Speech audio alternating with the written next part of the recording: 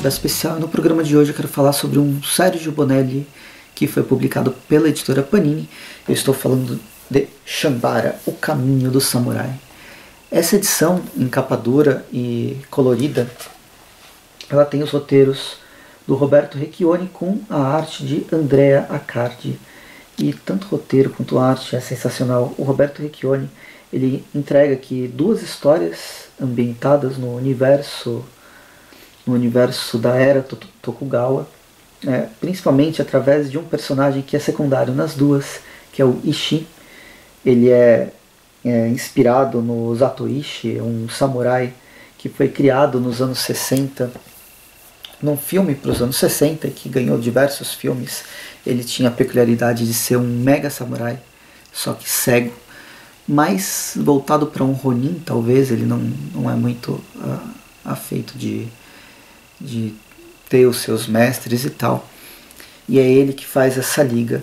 Essas duas histórias de Shambara, que, que estão nesse encadernado de Shambara, na verdade, elas fazem parte, foram publicadas originalmente dentro daquela série, né, daquela série, daquele título, título Le Historier. Foi lançado no finalzinho de 2012 e é praticamente uma máquina de fazer graphic novels.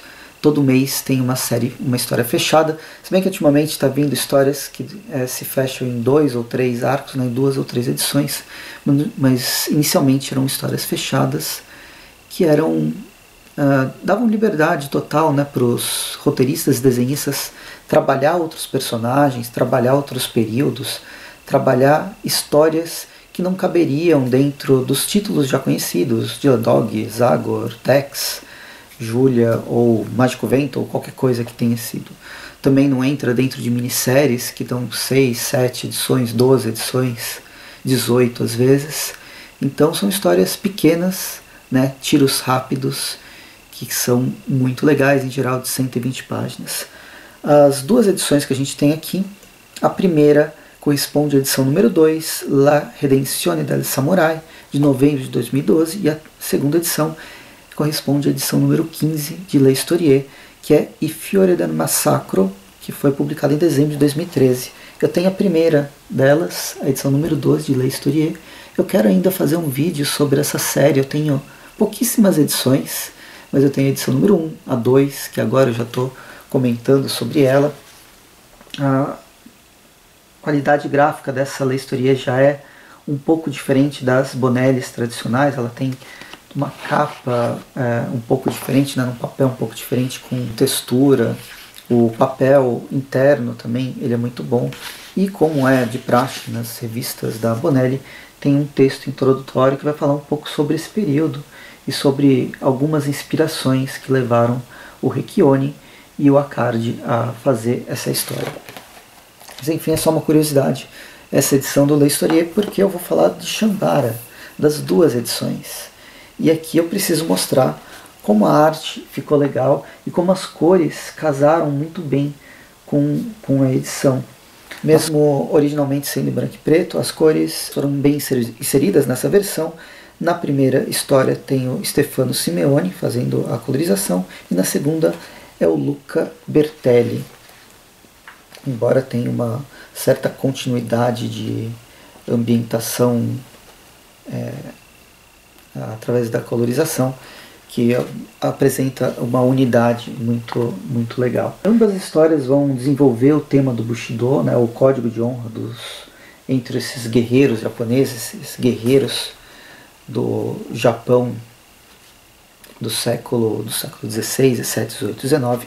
No caso, a gente está na era Tokugawa, né, no inicinho do século do século XIX, lá para 1830. E aqui a gente tem uma decadência já dos samurais. Uma das histórias a gente vai acompanhar um garoto né, que foi mandado por seu daimyo para caçar o próprio mestre.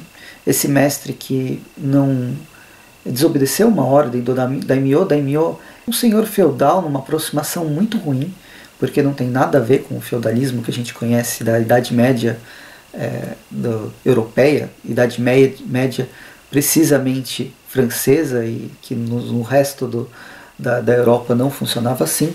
É uma aproximação que é muito tradicionalmente feita porque o Japão era dividido entre vários senhores, esses senhores tinham todo o seu séquito de seguidores, e eles, em geral, é, serviam ao príncipe, ao rei que ficava em Edo, também é conhecido como a Era Edo.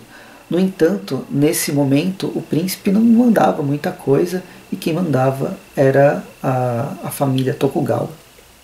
Mas enfim, existem senhores é, que seguem um certo código de honra e outros senhores que são bastante corruptos. No caso da primeira edição, esse daimyo ele tem uma certa, uma certa ética e ele pede pro, ele manda, né, o seu o seu servo a ir atrás do mestre dele para trazer esse esse mestre e no caminho esse esse garoto junto com o mestre e junto com os Atoishi eles se deparam com um mundo, né, uma região que está sendo extremamente explorada por alguns samurais que vem cobrando, vem extorquindo a população em todo o Han. Né? Han, no caso, a região que esse daimyo ele é responsável. E assim, ao ver os vilarejos passando fome e esses samurais fazendo a extorsão, a gente tem uma bela de uma sequência de batalha com os três os três heróis da história contra um exército de samurais. Sequências é, no mínimo magníficas, dinâmicas. André Accardi, ele, ele trabalha os enquadramentos de forma a você sentir que está tá dentro de um filme, essencialmente dentro de um filme. É muito, é muito envolvente as cenas de batalha. Deixa eu mostrar uma, uma aqui em especial, uma, pelo menos uma sequência de ataque que foi é, estarrecedora. E, bem, assustou até mesmo o exército, o exército inimigo. No fim, essas extorsões estão ligadas ao conselheiro do Daimyo, é, com tem tráfico de pessoas, extorsão de dinheiro e tal, e a história vai se desenvolver nesse tema. A segunda, a gente vai acompanhar uma garota, ela é filha do, do conselheiro de um outro daimyo, de outro, é, de outro Han, mas nesse caso, o daimyo, é, o daimyo ele é corrupto e esse conselheiro ele não aceita a corrupção do seu senhor e resolve praticar um seppuku. Ele se mata. A esposa acaba morrendo por causa da morte do, do marido e aí sobra a filha que é salva de um suicídio pelos Atoishi e que vai mostrar a ela o caminho, um caminho alternativo para esse suicídio. A garota no fim vai se envolver e vai tomar uma linha mais assassina e vai ser treinada justamente para se transformar numa assassina e ela através disso, por causa disso, ela vai atrás de se vingar de todos aqueles que riram da morte do seu pai. Essa vingança que vai no, no direcionamento completamente contrário do, da primeira história ela também é bastante interessante, muito legal. São outros, outras formas de trabalhar a, o desenvolvimento da ação, a narrativa de ação, e que é, é igualmente envolvente. São é, quadros sensacionais em cada um deles.